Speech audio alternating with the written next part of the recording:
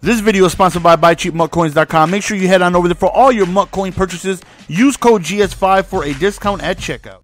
What up, what up? What is going on, ladies and gentlemen? It's your boy GS, and welcome back to another Madden 15 offline franchise. And today, we are in week three. Now, we are actually 2 0, and we're going up against the Denver Broncos, who are as well 2 0, and uh, should definitely make for an interesting game.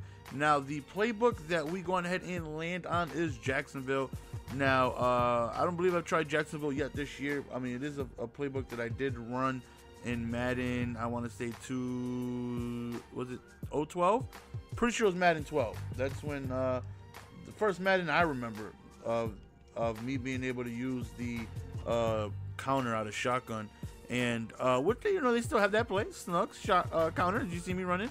So uh, right here we go to the wheel route, and uh, yeah, just played that astronomically biblical. Like that was supposed to be just complete as Curtis Painter is the other QB.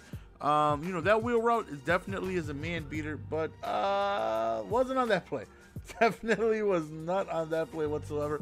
So we throw interception. That right there, of course, is not a good way we want to start the game. You know, uh, never a good thing when you go on ahead and uh, throw an interception on your first drive. So uh, definitely frustrating. Hopefully our defense can come through and do, um, you know, come up big for us. Now the um, our defense has been playing spectacularly well as of late. Definitely cannot lie about that. Our defense has been playing really well. Third and eight. We get ourselves a stop, and uh, they actually punt the ball. So that right there was good. You know, it's a defensive stand. We played well, and we got our stop. Right here, unfortunately, we cannot connect on the screenplay right there, and that right there sucked. Because he had a lot of room in front of him. But we do throw a quick comeback route to the rookie right there. Here we go with LeSean McCoy. Again, my spin moves have just been not on point. But on second and six, we get we make it a manageable first down situation.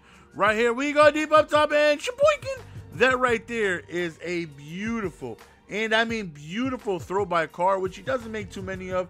If you guys have been watching this series for a while, you guys know that that man will absolutely throw some of the worst passes that uh, any human can possibly make. But that one was just a beautiful wheel route thrown over the top as they scored touchdown right there. And uh, so they end up tying the game 7 7. Now here we go. Definitely trying to go on ahead and have similar results as last time. Uh, first and 10, we go back to the counter with LeSean McCoy. Finally, I get a spin move that gives me some space. Um, second and one, we lose a couple yards. So on third and four, again, we go back to the comeback route. And that has definitely been a go to route of ours that we've been able to go on ahead and utilize and take advantage of.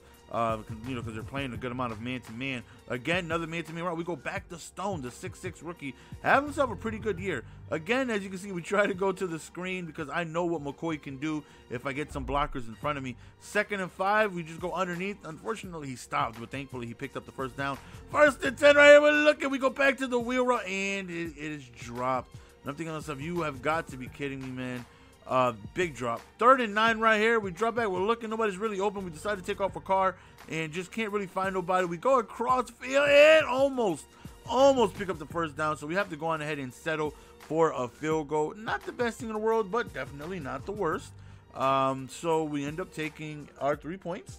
And, you know, 10 to 7. So here we go back again on defense. It's FM, Polamalu destroyed him but unfortunately we are unable to go on ahead and pick up that fumble.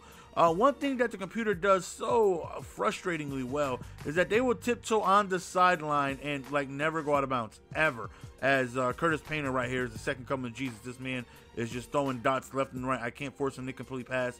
Every time he throws the ball, somebody's open. Every single time he takes off, throws on the run, picks up the first down. Uh, right here, first and ten standing in the pocket, quick underneath route, breaks the tackle, which might have actually cost them a yard. But second and six, throws it, hits off their player's helmet. Third and six, can we get the necessary stop underneath? They always have that one underneath route. Look at it, like you see what I mean towards the sidelines. Somebody's just always open over there towards the sideline, um, and they always, always, always have that one route that just rushes towards. Like always, man. It's so frustrating right here. Really quick slant right here, trying to get to at least field goal range to see if we can go on ahead and hopefully tie the game at minimum. But I mean, hey, we can go on ahead and another drop pass. if we could go on ahead and get ourselves a touchdown to take the lead, that would be great. Another underneath run right here, really quick double juke towards the inside, and we're getting closer to the field goal range right here. We have two timeouts, so we definitely have plenty of time.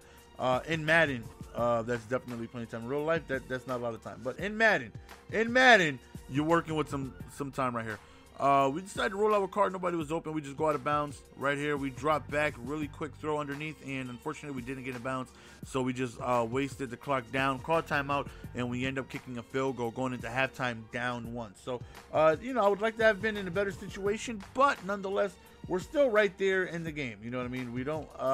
We're even if they score, it's still a one possession game. So uh, again, did they go with that underneath route that they always have towards the sideline? Third and seven right here, and of course they hit us with a comeback of our own. We're killing them with comebacks, and they're killing us with comebacks. Uh, bad throw right there. Actually, one of the few times you will see on all Madden the computer just completely miss a throw. And speaking of missing things, I completely whiffed on that uh, tackle right there, going on ahead and giving them way more yards than uh, they, he should have had. Second and three, run the ball again, and they end up picking up the first down. And I'm just having trouble. Like, look, look, uh, wow. I mean, wow. Beautiful play design, beautiful running right there, and he ended up scoring a touchdown. So, in order for us to make anything happen, we need to score a touchdown and two point conversion now. Um, it's still early on in the season, but we're playing really well. You know, we started 2 0 as we take a sack right there. And it's like, I really want this victory. I really want to be able to start 3 0. Uh, right here, we get a drop pass, which would have made it a manageable third down situation. Right here, we need basically a miracle to pick up this first down, and unfortunately, we don't get anything. So we're forced to go on ahead and just punt the ball right there. And I'm just hoping that we can get a stop because if they score, it's now a two possession game, and it's not looking good for us. So we have to keep them out of field goal range right here. It's a must, and it looks like they already accomplished that right there. And again, right towards the sideline, they never go out of bounds. They just perfectly run right there, and they end up scoring another touchdown. So now it's not looking good. Now this is reminding me of just last year of you know hanging in there, but then just letting it completely slip away at the end, and uh, it's just not looking good. So uh, here we go, standing in the pocket right here, and that right there was just a horrible throw. I wanted to go to the underneath drag route, but he completely overthrew it, threw it right to the defender, and like there's there's nothing I can do about it. There's literally nothing I can do about that. Just underneath drag route, and he just flat out missed. And a lot of people are like, yo, you got to get rid of Carr, man. I know, I know. I believe me when I say I know I need me a quarterback that can actually throw accurately all the time. It was crazy. I've been working on him through game prep, and I've, I've been getting myself, you know, points for him and making sure I go on ahead and um, try to work on his accuracy, his short accuracy. His short accuracy, I boosted up like 30 points, but he still misses easy throws, man. Like uh, right there, just desperation at this point. I need points. I need points in a hurry. And uh, I know Mike Wallace is my fastest receiver. If anybody can get behind the secondary, it's him. So we just took a shot, tossed it up, and you know nothing happened. So uh, just by the score, you know we're definitely not going to have any chance of realistically uh, coming back. We would need a lot, and I mean a lot of things to go our way in order for us to make something happen. And you know, again, just trying to force things, man, and we ended up just getting flat out demolished this game. Uh, they played well. We had our opportunities. We made mistakes, and unfortunately, things did just not go our way. So, uh, yeah, we got demolished. This is a game I quickly want to forget and uh, head on to the next game where we can hopefully go on ahead and get ourselves a victory because, yeah, this game we got absolutely dominated and uh, it wasn't fun. It absolutely wasn't fun.